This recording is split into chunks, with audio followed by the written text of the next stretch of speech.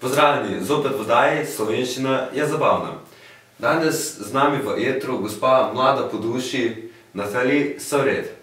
Ki, Saravt. Saravt, se upravičujem. Ki je prišla direkt, direktno iz Francije, da nam bi lahko predstavila njeno zanimivo knjigo. Kaj nam, Natali, bi nam lahko povedali kaj zanimivega o vaši knjigi, ki ste zapisali pri kar dobri starosti? Ja. Najbolj zanimivo, kar lahko povem o tej knjigi, je tudi Lahko samo še nekaj prekinem, ker vas lahko tikam. se upravičujem, ampak ne, se sem mnogo prestara za vas. No, ki bi htela pa še predstaviti knjigo samo. Bom predstavila knjigo. Hvala. Um, no, zanimivost iz knjige Otroštvo je napisana prav na platnicah. No, poglejte, st- preberemo lahko. Natalie Saraut je napisala Otroštvo pri 81 letih. To je Kaj nam bi lahko prebrali kakšen zanimiv odlomek iz vaše knjige? Ja, tudi to bi se mogoče našlo.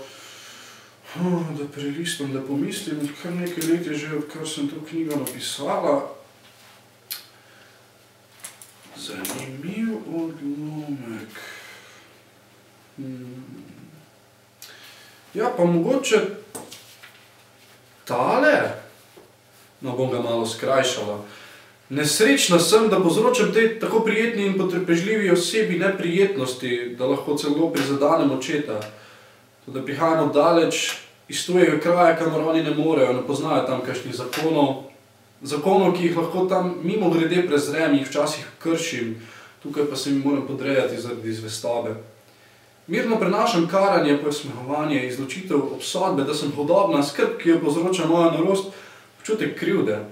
Toda vsega tega se ne da primerjati z občutkom, ki bi ga imela, če bi prelomila sveto obljubo, se naročevala iz besed, ki so postale svete, če bi izgubila vsakršen občutek dolžnosti, odgovornosti, če bi se obnašala kot slaboten otročiček in bi privolila v to, da bi pogotnila košček, preden bi postal redek kot juha. Vidim, da ste odlomek izbrali zelo skrbno. Kaj bi hoteli uh, nam predstaviti, še kakšen motiv iz tega odlomka, ki vas je gnal naprej?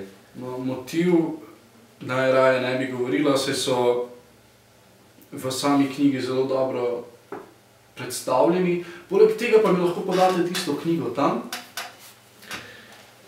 To je esej na maturi 2015, notri so opisane vse stvari, otroške stvari in otroštvo naših dveh avtorjev.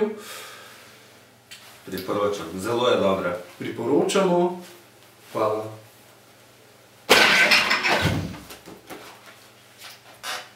Pozdravljeni zopet vetru. Z nami je še vedno naša gospa Savred, sa, kako že? Saravt. Saravt.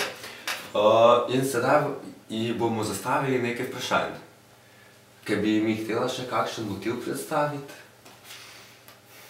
Gospod, razočarana sem nad vami, saj takšnega spoštovanja nisem doživela že skoraj 60 let. Če vas prosim, da me tikate, oziroma da me vikate in da me ne tikate, me prosim vikajte. V redu? Zelo se opravičujem. V redu. Sedaj mislim, da si naši maturanti zaslužijo še en motiv iz tega dela. No, motiv šole, ki mi je vedno ostal pri srcu, saj sem po duši vedno hotela imeti vse tipi-topi. Ampak sedaj ne najdem prave strani. Lahko pa v en glas rečemo, maturanti, srečno na maturi. Mi ga ne potrebujemo.